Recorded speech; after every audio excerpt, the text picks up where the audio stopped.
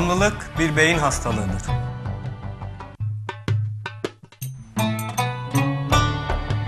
Hayat yönetenlerle yönetilenlerin savaşı değildir. Aklın Yolu Bire hoş geldiniz canlar. Bugünkü müstesnai konuğum e, can dostumla birlikte korkularımızı e, ve e, uçuş korkularımızı, e, pilotluğu, uçakları, uçmayı e, ve e, bunlarla ilgili eğer kaygılarımız varsa nasıl başa çıkarabileceğimizi konuşacağız. Hoş geldin Mustafa. Hoş bulduk. Şimdi çok bu değişik bir konu tabii bizim izleyiciler için. Nereden çıktı bu falan filan diyecekler ama herhalde zaman içerisinde programı seyrettikçe bazı şeyleri daha da e, ikna olacaklardır.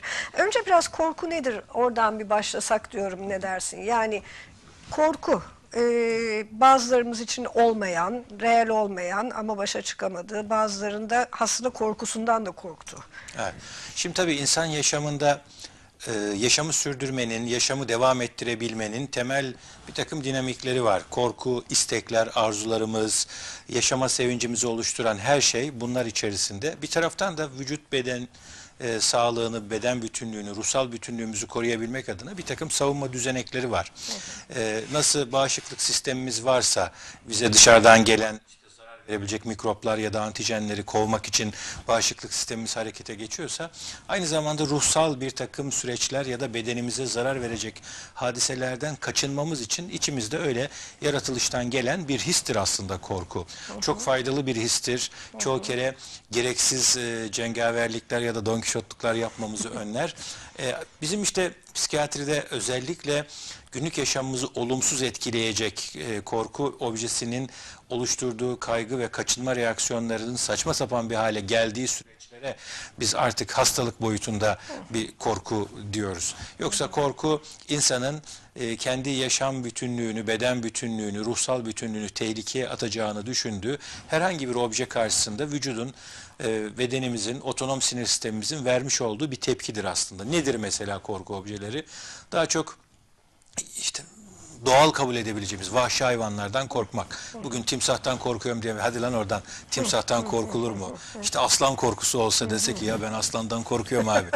o zaman ona sesimizi çıkarmıyoruz tabii. Çok yükseklerden korkabiliriz. Korumasız bir korkulu olmayan bir balkonun kenarında 5. 10. 8. katta durmak bizim için bir korku objesidir. Niye? Aşağıya düşüverirsek yer çekiminin etkisiyle bir anda bir dengemizi kaybedersek geri dururuz, kaçınırız ama işte kenarında korkulukları olan hatta demir parmakların arasından çıkıp dışarıya düşemeyeceğimiz bir yüksekten korkma ya da beşinci kata çıktığı zaman korkma ya da kapalı mekanda durduğu zaman yaşadığı abartılı korku ya da kediden fareden korkma gibi objesiyle ortaya çıkardıkları belirtiler arasında tutarsız bir takım oran ve orantısı tutarlı olmayan e, belirtiler ortaya çıkıyorsa biz ona diyoruz ki evet kardeş burada bir korku var ama bu korku hastalıklı bir e, durum ve bununla alakalı mücadele etmek gerekir. Korkunun genel tanımı şöyle bir kere daha özetlersek biraz uzun oldu ama giriş açısından e, kendimizin bedensel ve ruhsal bütünlüğümüze zarar vereceğini düşündüğümüz herhangi bir obje karşısında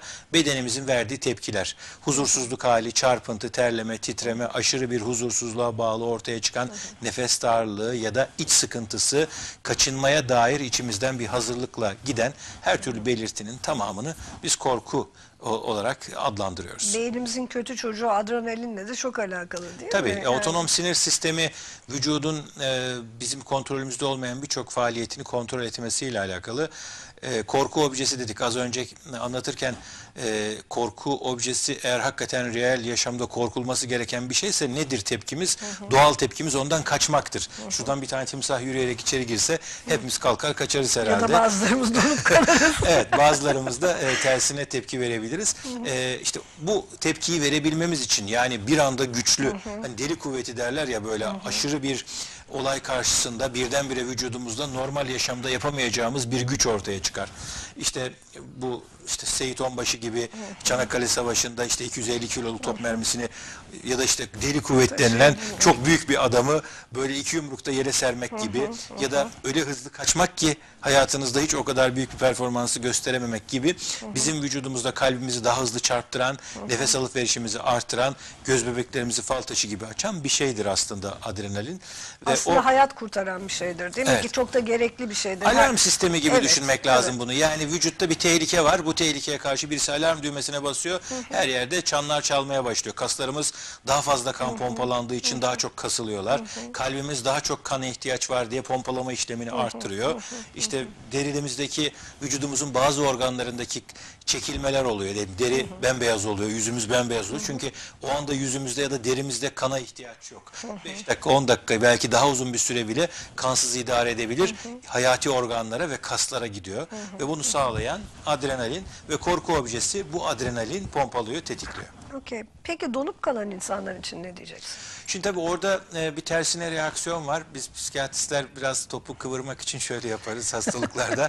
E, mesela depresyonu tanımlarken işte bazen aşırı uyuma, bazen hiç uyuyamama, uyku bozukluğu, bazen e, aşırı yemek yeme e, depresif e, şikayetler ya da depresif süreçler karşısında, bazen e, iştahının çok açılması, aşırı kilo alma gibi iki uçlarda yaşanılabilir. Biz psikiyatristler ve psikolojik danışmanlar, psikologlar, pi- piyasada ruh sağlığı profesyonelleri normal sınırını koyarken şöyle yaparlar. İnsanların 100 tanesi o durum karşısında e, nasıl tepki verirler, ölçerler. İşte %95'inin verdiği tepki normal sınırlarda kabul ederiz. Ve biz hiçbir zaman tam orta yerde böyle tamamen bir normal tanımlayamayız. Normal yaşamımızı, sosyal mesleki işlevselliğimizi sürdürebilecek bir tepki. E, korku objesi karşısında donup kalmanın sürecinde de bazen e, işe de yarar bu. E, Nasıl mesela hani denir ya işte vahşi hayvanları görünce işte ayı Kıpırdamayın. görürseniz kaçmayın. Kaçarsanız o sizi zaten yakalar. İşte o donup kalma da biraz abartılı bir reaksiyon. Kaçmamız gereken bir yerde kaçamıyorsak orada bir psikiyatrik sorun vardır. Yani olaylar karşısında donup kalmayla aşırı tepki vermek arasında istatistik ya da dışarıdan bakan bir göz olarak bir fark yok. İkisi de anormal ve normal tepkinin dışında o zaman bize iş düşüyor. Okey. Okey. Şey soracağım. Ee, uçuş korkusu diye bir şey var. Değil mi? var. Yani ee, nedir bu? Yani paraşütle atlamaktan korkuyorum o yüzden paraşütle atlamıyorum değil herhalde değil mi? Ya da bungee Tabii jumping yapmıyorum. Yani paraşütle atlamak normal yaşamımızda yani kaçımızın başına gelecek bir şeydir. Askerseniz evet ya da ne bileyim ben e, bu işin profesyoneliyseniz paraşütle atlamaktan korkuyorsanız mesleğinizden olursunuz ama uçuş korkusu diye tanımlanan şey uçmak ve uçuşla alakalı her türlü faaliyete yaklaşmak, yakınlaşmak, onu yapmak zorunda olmak gibi durumları tehlikeli görmek. Az önce tanımladık. Yani uçmayı tehlikeli bir iş gibi görüp onunla alakalı kaygı duymak. Tehlikeli gördüğümüz şeylerden de bir kaçınma reaksiyonumuz vardı. Neydi? İşte timsah görünce e, kaçıyorduk yani tabana kuvvet. Kaçanla Ayıyı- nasıl ayıyı görünce kaçmıyoruz Evet. ama. Buradaki temel şey de şu uçağı ve uçmayla alakalı süreçleri e, korku objesi olarak, tehlikeli olarak algılayıp bedenin vermiş olduğu anormal tepkiler. Nedir? İşte çarpıntı, terleme, titreme, donup kalma, elde ayakta uyuşma, karıncalanma, keçelenme, mide bağırsak hareketlerinde ortaya çıkan artış bazen ciddi bir bulantı kusma hissi ya da böyle aşırı bir e, terleme ile giden bir takım belirtilerle ortaya çıkan ve kişinin uçuşla alakalı gereklilikleri yerine getirememesi. Bahsettiğimiz bir pilot da olabilir bazen çok nadiren. Onun da kaygıları olabilir ama çok e, ters bir durum tabii. O zaman mesleğini de yapamayacağı için o ciddi sorundur. Bizim Peki temel bu bir travma sonrası mı? Yani bir yaşanmışlık sonrası gelişen bir şey mi? Yoksa sadece öyle hiç deneyimlemediği için kişi oluşan bir şey mi? Bunun birkaç tane şeyi var tabii. Primer e, uçuş korkusu dediğimiz daha önce hiç uçmadığı halde insanlardan duyduğu ya da işte gördüğü bir takım televizyon programlarından gördüğü bir takım şeylerle e, uçuşa karşı ciddi güvensizlik duyması. Yani uçan her uçak sanki düşecekmiş gibi algılaması olabiliyor bazen. E, hiç bilmediği için yani kocaman bir uçak nasıl uçuyor bu alet? Yani birdenbire koşturuyor koşturuyor koşturuyor ve havalanıyor. Baktığınızda bugün yolcu uçaklarının işte 70 ton işte orta bir 150 kişilik bir uçağın ağırlığı 70 ton. Yani 70 ton nasıl uçuyor? Yani. 70 ton nasıl uçuyor, havada nasıl duruyor? Bu uçak havada durmaz. Ya motorları durursa, ya bir şey olursa, ayaklarımız yere basmıyor.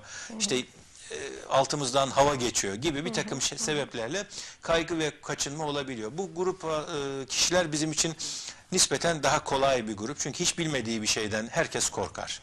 Size de işte hani tanımadığınız, bilmediğiniz, özelliğini bilmediğiniz bir hayvan gösterilse nasıl, ne yapacak? Biraz da vahşi görünümlüyse e, sonuçta doğalımızda olmayan bir şey uçmak. Kanatlarımız yok.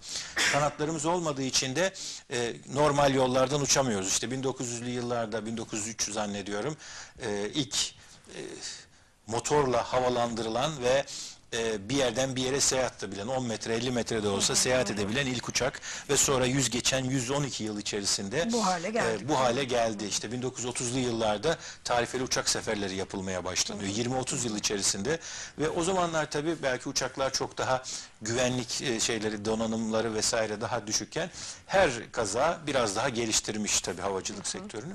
İnsanlar uçuşu mutlak düşmeyle sonuçlanacak bir şey gibi algıladıklarında korkmaları çok gayet doğaldır. Peki e, ilk heyecanlanma normal mi? Yani E tabi hiç bilmediğimiz bir şey kapısı kapanacak ve birazdan havalanacak ve vücudumuzda ortaya çıkan o havalanmaya bağlı olarak yer çekimi ivmelerinin değişmesine bağlı olarak dönüş hareketlerine bağlı olarak e, iç e, kulakta ortaya çıkan o sıvı hareketleriyle bir takım değişik hisler, bilmediğimiz, tatmadığımız hisleri hissetmemiz gayet normal.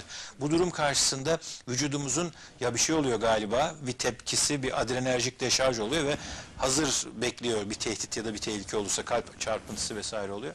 Yani minimal düzeyde bir kaygıyı ve de heyecanı herkes duyar zaten ilk deneyiminde. Sonraki deneyimlerde de bunu duyabilir. Ee, hatta uçarken zaman zaman türbülans hareketleri gerçekleşir. Havadaki bir takım hareketler, hava hareketlerine bağlı uçağın titreşimlerinden ibaret olan hareketler. Bunlar da bilmiyorsak bizi kaygılandırabilir bir miktar.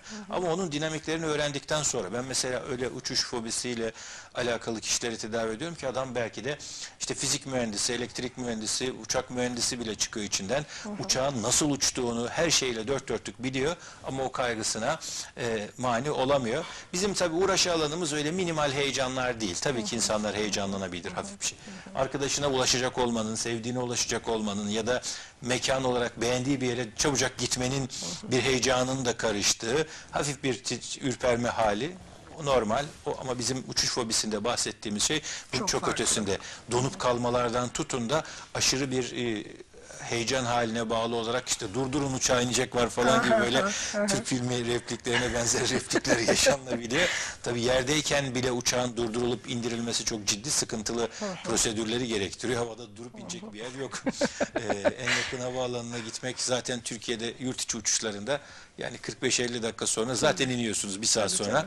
Hadi kalktık durdurun uçağı inecek diyen bir yolcu ortalığı ayağa kaldırırsa belki yakın bir havaalanına inebilir ama çoğu kere gitmesi gereken yere de gitmiş olur. e, peki e, havacılık denilen sektörde e, uçak denilen e, alete bindiğimiz zaman e, güvenlik nasıl bir şey? Yani şu özellikle son teknolojide e, güvenlik ne kadar güvenli? Şimdi ben, benim bir arkadaşım şey demişti yani İstanbul trafiğinden çok daha güvenli olduğuna emin olabilirsin demişti. Bunu biraz açar mısın? Şöyle, e, ya ben sonuçta profesyonel bir hava yolu pilotu değilim. Amatörce uçan birisiyim ben. E, kendi hobim, keyif olarak uçtuğum bir şey ama bu arada hem danışanlarım için hem kendi merakımdan dolayı hava yolu ve diğer ulaşım aracı olarak kullanılan hava yolundaki uçakların nasıl uçtuğunu falan oldukça yakından takip ediyorum. Pilot arkadaşlarım vesaire işte bu ders aldığım hocalarımdan bunu bilenler onlarla şey yapıyoruz. Şimdi hava yolu güvenliği bir kere bizim kendi arabamızın işte marşına basıp istediğimiz yere çekip gitmemiz gibi bir şey değil. Yerden havalanan her uçak yasal, yasa dışı bir uçağın anahtarını çalıp uçurabilirsiniz. O ayrı bir şey ama normal şartlarda yerden havalanacak her uçak bir yerdeki sistemler tarafından kontrol ediliyor. Nereye gideceği, hangi irtifada gideceği, nereye gideceği, ne şartlarda gideceği, gittiği yere ne zaman gideceği, yolda nerede olduğu, hangi irtifada uçtuğu, o irtifada uçan diğer uçaklar gibi bir sürü şeyi yer kontrol sistemleri aracılığıyla takip ediliyor. Bir kere uçakların irtifaları ve gidiş yönleri birbirlerinden ayrılmaları dolayısıyla havada uçakların birbirleriyle kötü bir e, sürpriz yapmaları çok mümkün değil. İkincisi güvenlik sağlamak açısından mesela son zamanlarda şu soruyla karşılaşıyorum ben. Ya bir sürü rüzgar esiyor, işte fırtına var, kar falan filan nasıl olacak, nasıl gideceğiz? İşte Havayolu şirketlerini düşünün 100 milyonlarca lira değerindeki bir uçağı belki yolcu başına 5-10 dolar, e, işte 20 dolar bile bazen kar etmiyorlar. İşte bir uçağın tamamının bir uçuşundan kalan para 20-30 bin dolar bile değil. Bu uçağı riske etmez. Bir kere uçağı maddi açıdan düşünelim. İkincisi hava yollarının prestijleri tamamen pamuk ipliğine bağlı. Ufacık bir kaza işte şöyle haberler duyuyoruz mesela basında. İşte bilmem ne hava yolları uçağı büyük tehlike atlattı. Havada uçağın camı çatladı. Yani bazen böyle çok basit şeyler bile haber oluyor. Senin otomobilinin camı çatladı işte e, önünden taş çarptı patladı falan bu haber olmaz. Ya, karayolunda yürüyen bir aracın haber olmaz. Hava yolunda ciddi spekülasyonlara açık bir sektör ve onunla alakalı bir kere hava yolları hiçbir zaman riske etmezler. Kendilerini, uçaklarını, prestijlerini, yolcularını. Niye? Çünkü bir tane e, pas geçse uçak ya da işte ters bir hareket bile olsa insanlar aman Allah'ım ne oldu diye endişeleniyorlar. Halbuki işin doğasında çok rahat olması gereken bir şey. Onun için diyorum ki uçuş limitleri dahilinde kalkacak ve inilecek hava meydanı ve gidilecek güzergah bugünkü şartlarda meteoroloji üzerinden yüzde yüze yakın hele son birkaç saat kala işte 2 saat 15 dakika sonra şu sokağa yağmur yağacağı söylüyorlar neredeyse. Koca havalarını ve şehri bilmek çok zor değil. Onun için e, hava yolları ciddi bir meteorolojik planlama ve bununla alakalı işte güvenlik tedbirlerini alıyorlar. Uçuşlar eğer güvenli değilse, çok limitlerini zorlayacak bir e, rüzgar ya da fırtına varsa erteliyorlar ya da deniyor ki işte gideceğimiz meydandaki hava şartları dolayısıyla yarım saat kalkmıyoruz arkadaş diyor mesela kaptan. Ya olur mu kalkalım falan diyenler çıkabiliyor bazen. Ama gideceğin meydanda bekleyeceksin. Havada durmak, yerde durmaktan her zaman için riski Tabii ki. biraz daha fazla. Tabii ki. Onun için uçuş güvenliği artık e, havacılık sektöründe en önemli şeylerden bir tanesi. Uçağın kendine ait güvenlik sistemleri var. Mesela e, ticari uçuşlarda en az iki pilot olması gerekiyor. Bazı uzun uçuşlarda üç pilot olması gerekiyor. Bazen uçağın içinde pilot olan e, işte başka bir yere gidip oradaki uçağı alıp gelmek için olan pilotlar. En az iki pilotla uçuyorsunuz. Pilotlardan bir tanesine bir şey olursa öbürü de e, o uçağı indirip kaldırabilecek yeterlilikte. E, onun dışında uçağın aletleriyle alakalı ciddi bir güvenlik sistemleri söz konusu. Yani her bir e, uçuş aletinin bir, iki, bazen üç tane yedeği var. Bazen manuel çalışmaları mümkün. İşte iniş takımları çalışmazsa ne olur? İşte onun yerine gelecek, işte kendi ağırlığıyla düşmesini sağlayacak sistemler var. Dolayısıyla uçuşla alakalı, uçağın kendisiyle alakalı mümkün olan, olabilecek hemen hemen her şey kontrol ediliyor. Ama kazalar olmuyor mu? Oluyor. Yani Özellikle Güney Asya'da son zamanlarda çok fazla kaza oluyor değil mi? Evet. Yani. Yani şöyle son bir yıl içerisinde 2-3 tane uçak kazası oldu. Evet bunlar da oraya denk geldi. Malezya vesaire gibi büyük Güney Asya'daki ülkelerin işte okyanusa düşüşler vesaireler oldu. Bunlar neden oluyor? Nasıl oluyor? Hava şartlarıyla mı şeylerle mi alakalı? Onların bir kısmının henüz kaza raporları yayınlanmadı ama e, işte dünya üzerinde olan kazaları saysanız yılda 1 2 3'ü geçmez. Ben bazen he, akla mantığa e, uygun gelsin ya da anlaşılabilsin diye diyorum ki dünyada kaç tane yolcu uçağı vardır acaba? Soruyorum mesela. İnsanlar işte birkaç bin tane diyor. 3 bin, 5 bin, 10 bin, 20 bin. 20 ila 25 bin arasında dünyada e, yolcu uçağı var. Bunların her an 5-6 bin tanesi hatta 10 bin tanesi havada uçuyorlar. Ve bu her bir 10 bin uçuşun 10 bin iniş kalkış demek. Yani yılda milyarlarca uçuş yapılıyor ve milyarlarca uçuştan sadece 1-2 tanesinde kaza oluyor. Ve mesela geçen e, bir yolcu uçağı kalkarken motor arızası dolayısıyla nehre düştü ya da inmek zorunda kaldı. Kontrolsüz bir iniş yaptı. Yani ölümler yüzde yüzde olmuyor. Uçak kazalarında e, bütün herkesin öldüğü kazalar da çok fazla değil. Yıllık istatistiğe vurulduğunda güvenlik açısından işte milyarlarca e, uçuştan bir tanesinde kaza oluyor. Deniyor ki bir kişi 24 sene boyunca hiç durmadan 24 saat boyunca uçsa bir uçak kazasına karışma ihtimali işte ancak e, gerçekleşebilir. Yani 24 sene hiç durmadan uçacağız 24 saat. Bu istatistik olarak çok da mümkünmüş gibi gözükmüyor ama istatistikler gerçekleştiğinde %100 Değil mi? Değil olmuş mi? oluyor. O zaman İşte insanlar için gerçek oluyor. O zaman insanlar için farklı şeyler çıkıyor. Peki biraz şeye gelir misin? Ee, bir uçak nasıl uçuyor? Aerodinamik diye bir şey var. Evet. Ee, yani bunu biraz bizim anlayacağımız dilden anlatır mısın? Şimdi e, bunu bizim anlayacağımız dilden anlatmanın en kolay yolu şu. E, uçağın uçabilmesi için ya da cisimlerin havada uçmaları hızlarıyla alakalı. Mesela en kolay frisbee'den anlayabiliriz bunu. Frisbee'yi ne kadar süratli fırlatırsanız o kadar uzun süre havada kalır ve belli bir hıza gelinceye kadar uçmaya devam eder. O hızın altına inince yavaş yavaş irtifasını kaybeder ve düşer. Uçaklar da belli bir hızın üstünde çıktıklarında normal e, o kanatlarının yapısı gereği bazen e, işte anlatırken su damlası gibi diyoruz da altı düz üstü bombeli bir e, şeydir yapısı vardır. Kargo uçaklarının bombesi biraz daha fazla savaş uçaklarınınki daha az süratiyle alakalı bir şey. Uçak hızlanmaya başladığı zaman altını kanadın altından ve üstünden geçen havanın hızları birbirinden farklı olmaya başlıyor. Ve bu hız işte fizik kuralları gereği e, basınç değişikliklerine sebep oluyor. Oluşan o negatif basınç uçağı bir vakum gibi yukarıya doğru çekmeye başlıyor ve pilotun ufak hareketleriyle kanatçıklarda ve kuyruğundaki istikamet dümeninde yaptığı ufak hareketlerle onu yönetebiliyor. Onun için mesela uçaklar belli bir hıza gelinceye kadar kalkmazlar. Zıplayarak kalkan uçak görmezsiniz. Helikopterler kalkar.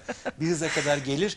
O uçak o süratteyken artık uçağın o 70 ton, 80 ton, 100 ton ağırlığı ne kadar isterse olsun sıfır ya da eksi kilograma varacak bir çekim etkisiyle artık karşılaşacağı noktada pilot ilk hareketini vererek uçağı kaldırıyor. İşte o hızla alakalı bir şey. Motorlar uçağı uçurmuyor. Motorlar sadece hız veriyor.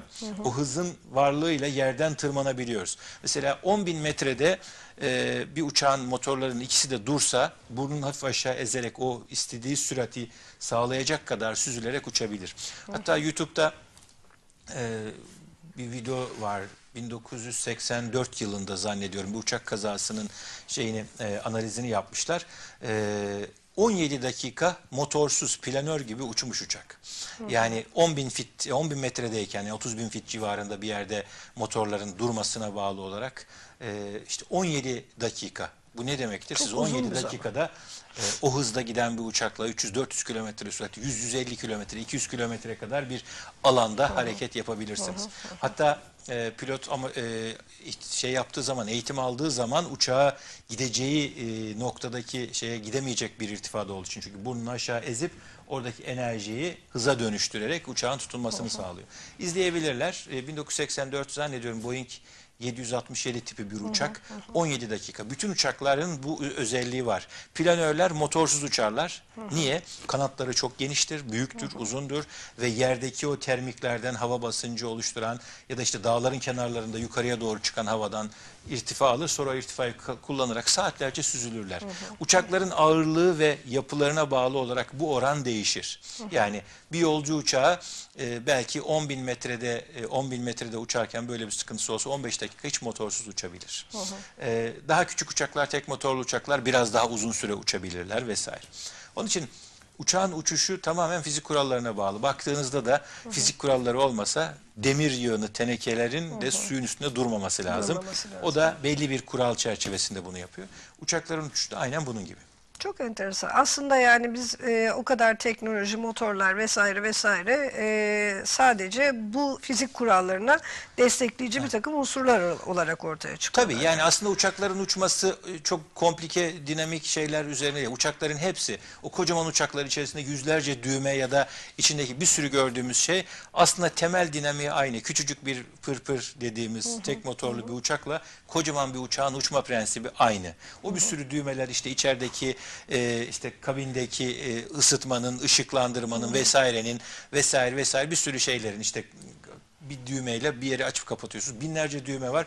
Elinizdeki o istikamet ve dümen dediğimiz, lövye dediğimiz, ayaklarınızdaki o istik, istikameti sağlayacak, hareketi sağlayacak 3-4 tane ana unsuru var. Bütün uçaklarda bunlar var. Motor sadece o hızı sağlıyor. İstediğiniz zaman bunu sağlıyor. Motorunuz olmazsa tamamen yer çekimini ve bulunduğunuz irtifaya ve hava şartlarına bağlı uçarsınız. Motor sadece istediğimiz zaman uçağa güç vermeyi sağlayan bir şey.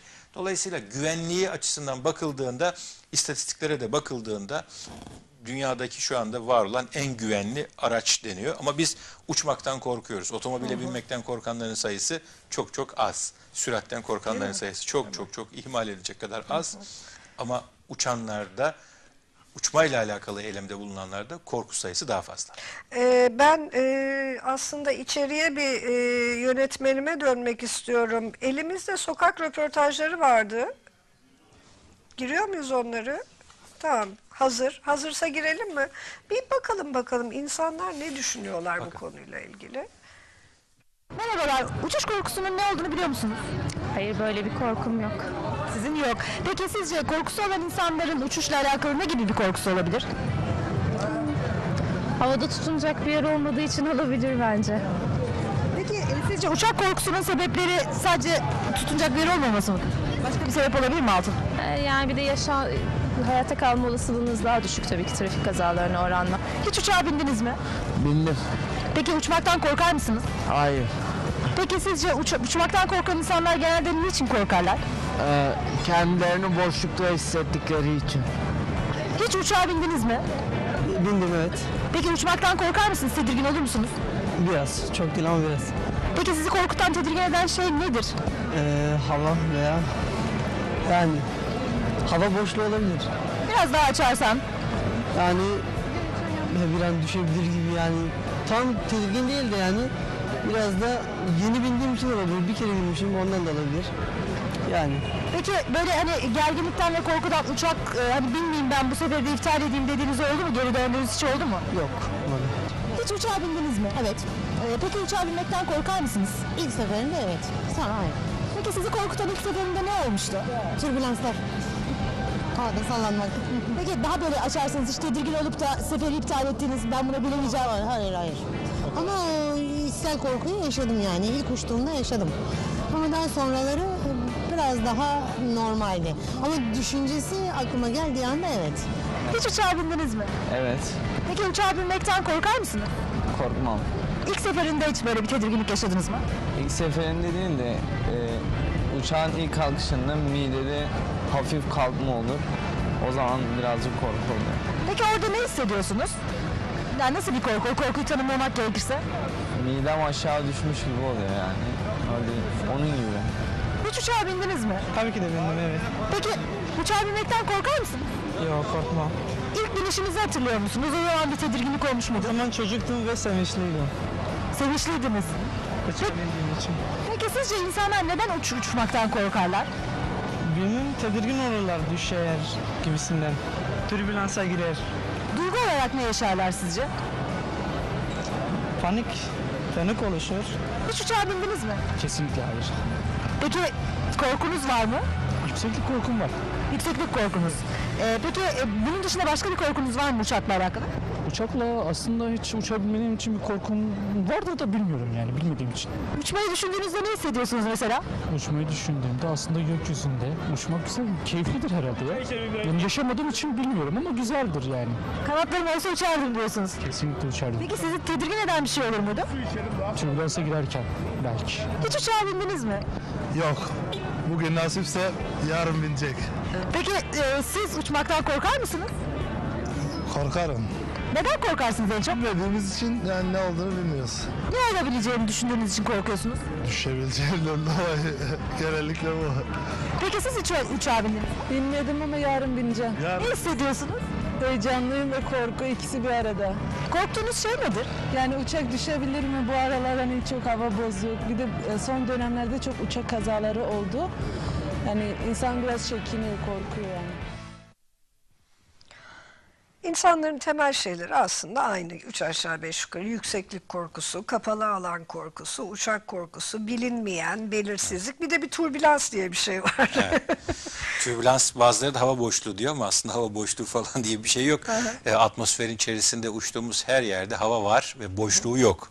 Sadece türbülans denilen şeyi biraz anlamak için e, şöyle düşünmek lazım. Biz zannediyoruz ki hep yatay hareketler oluyor e, atmosferde. Atmosfer böyle bu odanın içi gibi.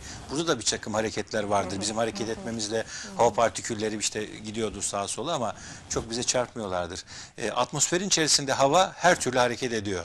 Aslına bakarsanız yatay hareketlerle birlikte dikey hareketler de var. Mesela bunu bir dağ kabul etsek şöyle bir hava kütlesi buradan bu tarafa doğru gelirken buraya çarptığında yukarıya doğru hareket ediyor. Dağın öbür tarafına dönünce aşağıya doğru hareket ediyor.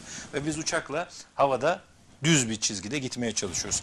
Bize aşağıdan gelip çarpan hava bizi titreştiriyor biraz. Sonra bir tarafa inerken yukarıdan aşağıya doğru olan biz gene düz gitmeye çalışıyoruz. Bu hareketlerin bazen yerdeki bir e, şehrin üzerinden geçerken mesela şehrin sıcaklığıyla oluşan hava hareketleri bile bunu yapabiliyor. Biz küçük uçaklarla uçtuğumuz için bazen yeni sürülmüş bir tarladan çıkan buhar bile bizi havada böyle bir sallayabiliyor. işte derin, nehirin üzerinden geçerken, karaların üzerinden geçerken, denizden karaya doğru giriş yaparken yerdeki ısınma hareketlerine bağlı olarak yukarıya doğru hava hareketleri oluyor. Onun içerisine geçiyor. İşte rüzgarın arttığı zamanlarda bu hareketler biraz daha şiddetli oluyor. Mesela şöyle hızla buraya doğru gelip 70-80-100 kilometre süratle yukarıya doğru giden bir hava kütlesi var. Tabii o bir çarpıldığında ona uçakla vurulduğunda tak tak tak tak tak bulutlara işte e, kanatlara oluşan etkisiyle uçak şöyle bir sallanıyor. İşte bu Çok kasis tehlikeli bir şeydir bu? Tehlikeli bir şey değil. Kasisli bir yolda gitmek ne kadar tehlikeliyse. Eğer siz yolda çok kasis varsa, çok süratli giderseniz patır patır patır patır arabanız zıplaya zıplaya gider. Ee, uçakta da benzer bir şey oluyor. O zaman işte pilotlar hafif hızı kesiyorlar. O karşılıklı çatışmanın hızını azaltarak e, şey yapıyorlar.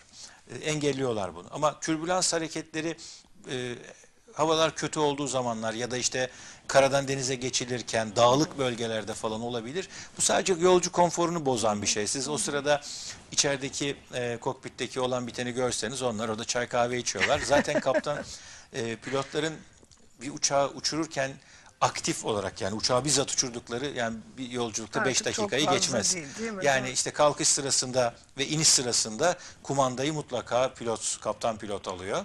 Ama kalktıktan sonra düz uçuşa geçtiği andan itibaren ya da tırmanırken bile komut veriyor. Diyor ki işte şu kadar hızda, şu kadar zamanda, şu kadar tırmanacak şekilde uçur uçağı diyor otomatik pilota ve sonra bakıyor hakikaten dediğimi yapıyor mu diye. Orada otururken çay kahvesini bizim burada yudumladığımız gibi suyunu içebiliyor. Türbülans hareketleri sırasında da e, yani onlar içeride çok rahatsız olmuyorlar. Çoğu kere görüyorlar zaten radarlarında hava hareketlerini. Peki niye kaçınmıyorlar? Bazen o türbülans hareketlerinin olduğu yer o kadar geniş bir alanda oluyor ki 300-500 kilometrelik bir alanda. Hani etrafından dolanamazlar mı? Ekonomik değil. Evet. Yol çok uzuyor vesaire vesaire. Bir de rotasından çıkması için özel olarak aşağıya bildirmesi gerekiyor. Eğer yolcu konforunu bozmak dışında tehlikesi varsa zaten oraya kesinlikle girmiyor. Bazı bulutlar var mesela bu CB bulutları denen bazen işte havaalanının üstündeydi de inmediler. Onun içerisinde yüzlerce kilometre hızda hava hareketleri, dolu, fırtına, yağmur, kar, şimşek, yıldırım her şey olabiliyor. Onun için uçaklar girmiyor etrafından dolayı. Onun dışındaki hareketler sadece kasisli bir yolda gitmek gibi sadece konforumuzu bozar. Yani türbülanstan düşen bir uçak yok bugüne kadar. Yani o kadar kuvvetli bir hava hareketinin olduğu zaman zaten uçuşlar iptal ediliyor. Eyvallah. Sadece şöyle şeyler. Ya madem tehlikeli değil ne diye bir sürü anons yapıyorlar işte oturun yerlerinize ve kemerlerinizi Ha, bağlayın değil mi? diye. Değil mi? Mesela bunu çok sık soruyorlar. Bunu şunun için e, o hava hareketleri sırasında bazen şiddetli bir hareket olursa beklemedik bir anda küt diye kafanızı tavana çarpabilirsiniz. Orada daha fazla ya da ya da önünüze vurabilirsiniz. Bazen bu türbülans hareketleri sırasında sıcak içecek ikramı, çay ikramı yapılmıyor. Niye? Yani dökülebilir. ya yoksa hani uçak alaboru olur, işte perişan olursunuz. Böyle bir türbülans hareketi oluşabilecek şartlarda zaten uçulmuyor. Bir tek bunun istisnai bir durum var. Kutuplar arasında ya da işte bir takım bölgelerden geçerken sıcak soğuk, soğuk hava görünürde hiçbir şey yokken e, görünmeyen bir türbülans ya da fark edemeyecekleri bir türbülans olabiliyor. Onu da biliyorlar ve bekliyorlar zaten. Birdenbire bir türbülans geçiş sırasında olabiliyor. O da bitiyor gidiyor. Yapacak bir şey yok. Sözünü balla kesiyorum. Bir reklamımız varmış. Reklam önemli.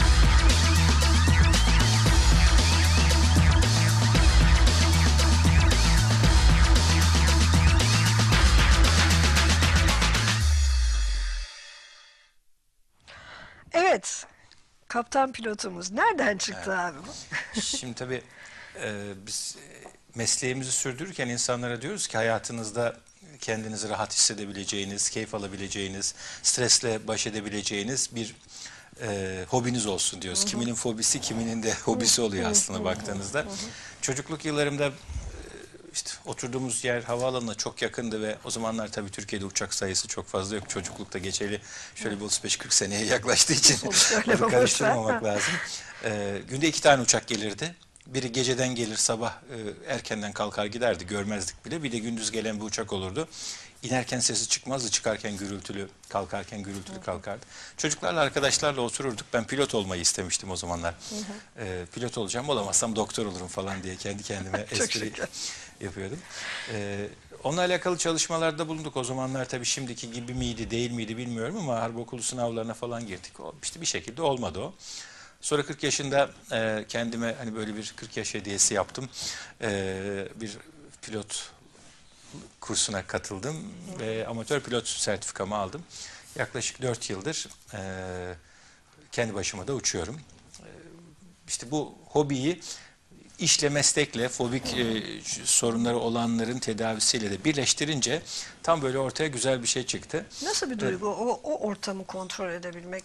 Ya Şimdi da şu- seni kontrol ortamının içinde var olmak diyelim. Nasıl bir duygu? Şimdi uçuşla alakalı sorun e, soruyorsanız e, uçmak, uçağa işte kendi istediğiniz hareketleri yaptırabilmek, onu yaptırabilinceye kadar ki stresli zamanın dışında biraz böyle hani çünkü her an bir şey olacak zannediyorsunuz. Uçak işte aman motor durursa ya da bir şey olursa düşer miyiz hemen küt diye falan bir, işte bilmediğiniz bir şey için işte insanların korkuların temeli oluşturuyor. İşte yavaş uçuş denilen bir şey var mesela işte. O tutunabileceği süratin hemen üzerinde bir yerde uçmak. O zaman bir düdük ötüyor sürekli. Dit dit diyor. İşte biraz daha düşerse hızım falan diye. Halbuki uçaklar öyle hemen çabucak şey yapmıyorlar. Ee, bir süre sonra zaten artık o uçağa istediğiniz hareketleri yaptırmaya başlayınca çok keyifli bir şey. Yani hava Hiç yolu... kaygılandın mı peki? Ee, şöyle, e, tabii biz çalışırken e, bazen acil durumları da çalışıyoruz mesela. Her zaman uçarken böyle hani güllük gülistanlık olacak diye bir şey yok. Mesela daldın, çektin fazlaca burnunu kaldırdın uçağa. Birdenbire bir sıkıntılı bir durum oldu. Ne yapacaksın? O durumdan nasıl çıkacaksın? Mesela şunu çalışıyoruz. Ben işte 150 saatten daha fazladır uçuyorum. Uçak motor hiç durmadı ama uçakta motor durursa ne yapacaksın? Çalışıyoruz. Kapatıyorsun. Ee, kapatmıyoruz, kapatıyormuş gibi yapıyoruz. O pervane dönerken zaten uçak rüzgarın etkisiyle döndüğü için hiçbir etkisi olmuyor ona. Ne yapacağız? Diyelim ki motor durdu. Biz onu simüle ediyoruz. İşte şurada bir tarla var. O tarlaya ineceğiz mesela. Ya da bazen mesela işte bu ters hareketler olur mesela işte. inişe geçerken uçağın hızını kontrol edemedin. Süratin çok düştü. Ne yapacaksın? Bir iki tane öyle ters hareket yaparken e, yanımdaki bir akrobasi pilotuydu hoca. bir iki ters hareket yaptı falan. Ben onları tabii hiç daha önce yapmadığım için mesela şöyle bir hareket yapıp şöyle dönerken şöyle dönüp aşağıya dönmek gibi bir hareket sırasında bir iki böyle e, heyecan hali oldu ama o da daha sonrasında kontrollü yapılabilecek bir hareket olduğunu görünce insan hani haz aldığı birçok şey heyecan verir mesela. Sürat yapan işte gençlere bakıyorsunuz mesela işte o caddede falan ne kadar keyifli bir şeydir. Çok riskli bir şey tabii de adrenalin bir taraftan da insana ayrı bir Keyif de he- keyif de veriyor. veriyor. Birkaç kere öyle içimin pırpır ettiği oldu ama genellikle e, zaten biz hani amatör pilot olduğumuz için e, hava kötüyse uçmuyoruz. Farz değil uçmamız. E, işte çok rüzgar varsa, yan rüzgar varsa, hava kapalıysa uçmuyoruz. Onun için çok sıkıntı vermiyor. yani. Ya ben seni 14 yıldır tanıyorum ve yani o videodaki gördüğüm yüzündeki o ifadeyi çok sık görmüyorum senin yüzünde. Demek ki iyi geliyor. Yani, Evet o bir saatlik uçuş da şimdi mesela düşünün günde 8-10 tane insanla e, çalışıyorsunuz. Haftada 30-40'a yakın insanı ayrı ayrı sorunlu olan insanı ya da problemleri dinliyorsunuz. Kendi problemleriniz de var bir taraftan belki yaşam içerisinde. İşte haftada bir saat iki saatlik öyle bir uçuş size bütün bu streslerinizi yani böyle hani tabiri caizse pamuk gibi oluyorsunuz indiğiniz zaman. Böyle ayaklarınız e, boşlukta geziyor. Bir Keyifli bir senin uğraş. Yani e, hasta bakmak dışında öğretim görevliliği de artı e, editörlük görevin de var değil mi? Popüler Yani işte yaşamın içerisinde bir sürü işlerle uğraştığınız zaman kendinizi rahatlatmak için böyle bir uğraşınız olması gerekiyor. İşte hobi niyetine insanlara şu bir şeyler yapın derken işte biz de dedik ki ya bu çocukluk hayalimizdi. Tersine çevirelim hikayeyi. Pilot olamadık, doktor olduk. Şimdi de pilot olalım. Bu çok Evet, güzel bir şey evet. aslında. Amatör- Yani bunu bunu yapabilmek, e, bunu yapabiliyor olmak, e, bir de bunu işle birleştirebilmek de çok güzel. Bu benim biraz hayvan e, hobime benziyor. Bende de o var biliyorsun. E, ben şimdi terapi köpeklerine taktım kafayı. E, çocuklar için özellikle öğrenme zorluğu çeken çocuklar için köpekleri acaba nasıl kullanırız? E, peşindeyim. Köpek eğitmeni olan arkadaşlarla oturup konuşuyorum. Çünkü dünyada çok örnek Derneği var. O da bambaşka bir zaten program konusu olacak inşallah. İnşallah. Ee, ya onun gibi bir şey herhalde değil mi? E yani? tabii yani kendi terapinizi e, üstlenip sürdüremezseniz ya- yardımcı olacağınız insanların sıkıntı ve streslerini yönetmeniz çok daha zor olur. Tabii yani ki. evet işimiz profesyonel bir iş. Her ne kadar geyik yapsak da aman canım profesyonele bakıyoruz adamın sıkıntısından bana ne çeksin sıkıntısını. yok, mutlaka mutlaka insan e, konuştuklarından etkileniyor. Bizim o odanın içerisinde duyduğumuz travmatik yaşantılar insanların bizimle paylaştıklarını sıradan sokaktaki insanlar yani hayatlarında akıllarından bile geçmemiştir belki birçoğunun öyle şeyler. O travmatik yaşantılar, o iç sıkıntıları, insanların yaşadığı problemler. Bundan herkesten yani tabii ki onun bir yakını, bir akrabası ya da kendisi gibi endişe duyam duymazsınız. Zaten onu duyarsanız bu işi yapamazsınız. Yapamazsınız. Ama herkesten bir kırıntı kalıyor hafta boyunca. O kırıntıları bir yekün haline gelince onları süpürüp bir atmak gerekiyor. İşte böyle bir hobi olabilir. Bazısı ata biner, bazısı fotoğraf çeker, bazısı resim yapar, bazısı müzik aletleriyle uğraşır. Bazılarında birden fazlası ancak keser. birden fazlasıyla uğraşması gerekir. Ben onun için bu işe başladım. Ha, bir taraftan da yaptığım bu işi keyifle yaparken insanların fobilerini de hobiye dönüştürebilir miyiz? Öyle insanlar da oluyor. Yani uçmak çünkü insanın hayatını çok ciddi kolaylaştırıyor. Mesela benim öyle danışanlarım oldu ki adam yurt dışıyla ihracat yapıyor. Fransa'da bir toplantısı var. İşte bir günlük bir işe iki gün önceden yola çıkıyor. Karayolundan tin tin tin tin gidiyor. İşte o kadar yol olunca bir gün istirahat ediyor. Sonra iki gün tin tin geri dönüyor. Bir toplantı için bir haftası gidiyor. İşte iş ve hayatında da çok ciddi olumsuzluklar oluyor. İşte bir kaza oluyor, bir ölüm oluyor, bir düğün oluyor, bir şey oluyor. Gitmeniz gerekiyor. Karayolundan gitseniz yetişme şansınız yok. Ya hayatı kısıtlayacak bir şey. Onu hobiye dönüştürmese bile korkmadan ya da minimal kaygıyla sürdürecek hale gelmesi çok e, Var mı peki e, hastalarından senin gibi pilot olmayı tercih eden? Hmm, bir iki tane pilotaj öğrencisi e, vardı. Onlar e, işte kaygıları ve tedirginlikleri vardı. İşte yaşadıkları bir iki travmatik yaşantı sonrasında artmıştı. Onlar şey yaptılar. Bir ya da iki tanesi uçak almaya niyetlendi ama henüz alan yok. E, o işte PPL lisansı denildikleri özel pilot lisansı almaya niyetlenen ama Türkiye şartlarında şu ara birkaç tane özel okul var. Onlar sadece ticari pilot yetiştiriyorlar. Birkaç tane okul ben duydum. Onlar e, sadece özel pilot yetiştirme işine de uğraşacaklar. E, var ama henüz e, hayata geçirmiş birisi yok. Zaten Türkiye'de sivil havacılık sadece bizim zannettiğimiz gibi öyle yolcu uçaklarımızın sayısı artması ya da işte milyonlarca uçakla e, şey taşımamız değil. Türkiye'de bu anlamda çok ciddi bir e, kısıtlılık var. Yani özel havaalanı bir tane. İşte e, devlet hava meydanlarına girip çıkmak öyle hadi uçağın kolunu sallayarak girip çıkmak kolay değil. Apron kolay kartı herkese ver, verilmiyor. Türkiye'de biraz sıkıntılı olduğu için bizim özel şartları oluşturmak için bayağı bir debelendiğimiz halde ancak işte birkaç tane öyle tanıdığım uçağı olan ya da işte e, uçan amatörce uça, uçan lisans aldıktan sonra uçak alma şansınız yok. Yani küçücük bir uçağın mesela bizim o e, gördüğünüz görüntüdeki uçağın bedelinin işte neredeyse onda biri kadar vergisi var mesela. İşte sigortası çok pahalı. Haftada her günde uçulacak bir şey değil. Türkiye şartlarında sivil havacılık o kadar gelişmiş değil maalesef. Maalesef, maalesef. Peki bu e, tedavi nerede başlıyor insanlarda? Evet biz nerede tedaviye başlıyoruz? Bazen e, onu anlatmakta zorlanıyoruz insanlara. Ben şöyle bir net bir şey koyuyorum, bir sınır koyuyorum. Uçuş fobisiyle alakalı. Psikiyatrik hastalıkların diğerlerine de bu net sınır koyabilirsiniz. O hissettiğiniz duygu, duygulanım ya da işte düşünce sizin günlük sosyal mesleki işlevselliğinizi bozmaya başladıysa, aile hayatınızda, sosyal ilişkilerinizde, meslek ilişkilerinizde sorun oluşturmaya başlamışsa bunun mutlaka çözülmesi gerekir.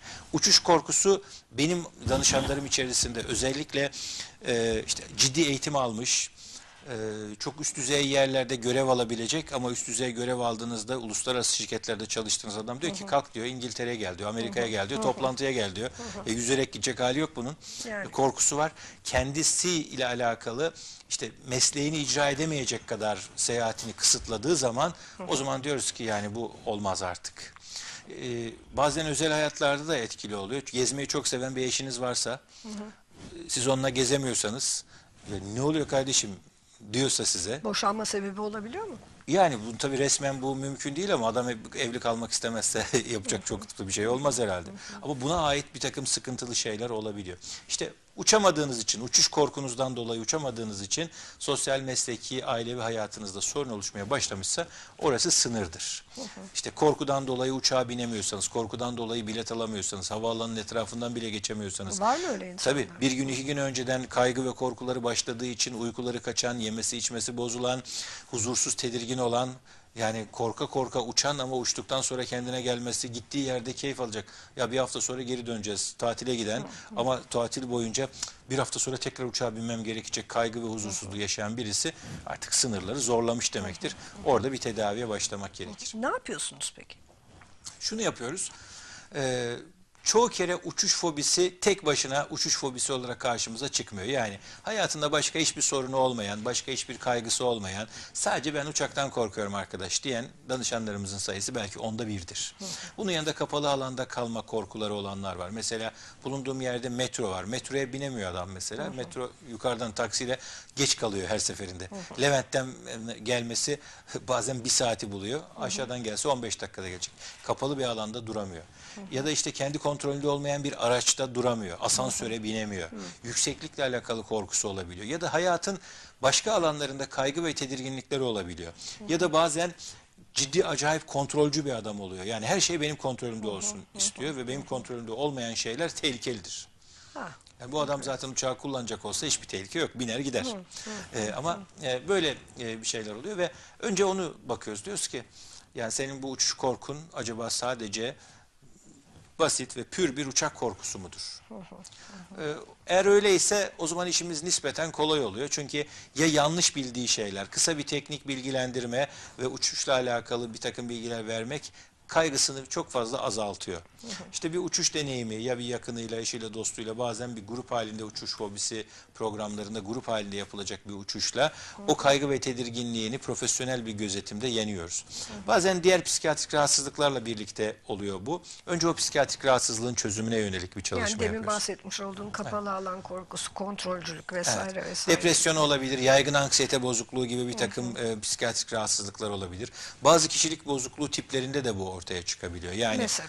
mesela obsesif kompulsif kişilik bozukluğu dediğimiz kişilik Yani bizim tiplerinde takıntılı dediğimiz. takıntılı biraz, fazla takıntılı. İşte uçağın kenarından şimdi bir şey oldu. Acaba bir şey olacak mı? Çatır çutur bir ses geldi. Bu ses neyin nesi? Şimdi uçak düşer mi? Ya da işte şöyle oldu, böyle oldu. Aa, hostesin yüzü biraz böyle e, asık gibi duruyor. Niye acaba? E, kavga etmiştir kocasıyla gelirken kim bilir? E, bir şey var herhalde gibi. Böyle hani her şeye takılıp kalan ve her şeyi kontrol altında tutmak isteyen tipler var. Mesela onlardan e, olabilir. İşte kaygı seviyesi çok yüksek, e, yaygın anksiyete bozukluğu hastaları olabilir. Panik atak hastalarımız var mesela bazen. Onlar işte kontrollü kaybederse ya uç- uçaktayken başıma bir şey gelirse ve e, ben ha, e, şeye yetişemezsem gibi kaygılar bile bazen uçuşu e, engelliyor. Çünkü kapıyı kapattıktan sonra aslında uçaklarda ciddi bir e, güvenlik sorunu başlıyor. Yani uçağa bindiniz, hadi ben inmek istiyorum deseniz bile çok ciddi sıkıntı oluyor. Onun için kapıyı kapattıktan sonra, uçak kalktıktan sonra nasıl inerim? Ben de diyorum ki ya bir kere uçaklar kadar güvenli bir ortam yok. Niye? Bir, ben şimdiye kadar ne zaman uçsam en az bir doktor vardı e, uçakta diyorum espriyle karışık. Ama ben psikiyatri uzmanı olduğum için genel tebabetten artık 20 küsür yıldır uzaklaştık. Yani bir anons yapıldığı zaman ben elimi kaldırmıyorum. Doktor var mı diye sorduklarında bekliyorum başkası. Ya benden başka mutlaka birileri denk geliyor. İşte havada bir şey olsa uçakta defibrilatör cihazı var. Uçakta diğer bir takım acil durumlarla alakalı şeyler var. Hiçbir şey olmasa oradaki e, kabin görevlileri ciddi bir ilk yardım eğitiminden geçiyorlar. Çok ciddi bir şey olursa kaptan pilotun kontrolünde en yakın havaalanına inilebilir. Türkiye'de bir havaalanına inmek yarım saat. Organizasyon yapılır e, ya da 5 dakika 10 dakika süresi en uzun sürecek olsa o kadar. Organizasyon yapılır sizi ambulansla götürürler. E, aşağıda sağlık hizmeti alabilirsiniz. Herhangi bir yerde dağın başında ya da yolda giderken E5'te başınıza gelse bir hastaneye o kadar zamanda yetişemeyebilirsiniz. Çabuk yetişemezsiniz. Gibi. E, Şey ben şunu açmanı istiyorum. İnsanlar bunu çok birbiriyle e, şey yapıyorlar, karıştırıyorlar. E, panik bozuklukla e, endişe, kaygı bozukluğu. işin kaymağı panik bozukluk. E, yani, yani onun arasındaki farkı bir şey yapabilir misin bize? Çünkü Şöyle. herkes kendine bir panik atak etiketi yapıştırıveriyor. Yok, yani öyle bilen değil. de bilmeyen de maalesef. Öyle değil. Yani anksiyetesi yoğun olan insanlarda yoğunluğun şiddetiyle alakalı bir şey panik atak. Yani nedir anksiyete? Bir herhangi bir durum karşısında ya da durup dururken hiçbir sebep yokken de içsel bir huzursuzluk hali. Böyle bir sürekli bir çarpıntı hali, terleme, titreme, elde ayakta bir huzursuzluk, nefes alıp doyamayacakmış gibi olma hali böyle hafif bir seviyede olabilir bu.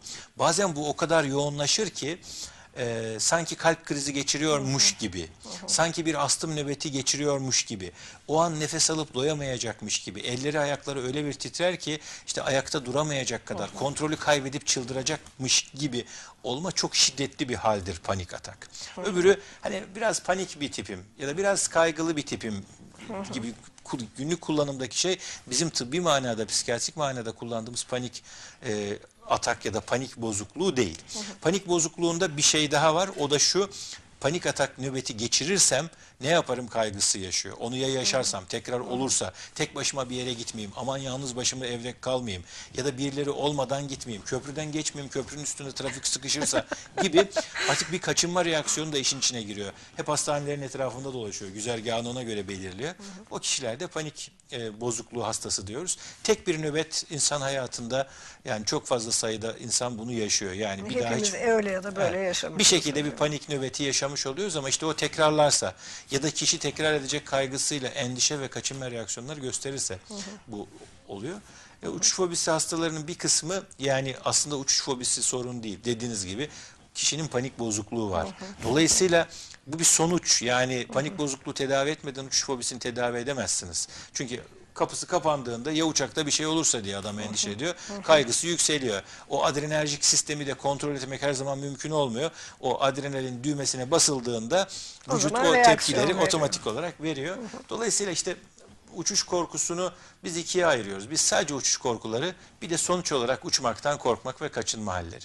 Sadece uçuş korkuları da işimiz nispeten daha kolay ve hızla birkaç uçuş gerçekleştikten sonra yüzde doksanı yakın geçiyor. İlaç kullanmasına gerek olmuyor çoğu kere bu hastaların. Ama birçok kere de diyorlar ki ya ben bir uç, uçağa binmek için ilaç alsam da bunu çözsem. Her şeyin bir hapı var değil Evet, mi? her şeyin bir hapı var. Ben sana hikmet sahibi bir hekim olduğun için ve iyi bir pilot olduğun için Oy, bir madalya oy. takmak Bir istiyorum. numara. Ha? Bir numara. Teşekkür ederim. Canım çok teşekkür ederim katıldığın 7-24 için. sevgiyle yaşa. Ee, bir dahaki programa bir tane daha vereceğim. Ee, evet. yönetmenim, o zaman aklın yolu iki mi olacak? aklın yolu iki olacak. Yönetmenim uyarıyor. Geldiğin için çok teşekkür ederim. Ağzına teşekkür sağlık. Ee, bir dahaki hafta başka konuklarla, değişik seyirlerle karşınızda olmak üzere. Sevgiyle kalın.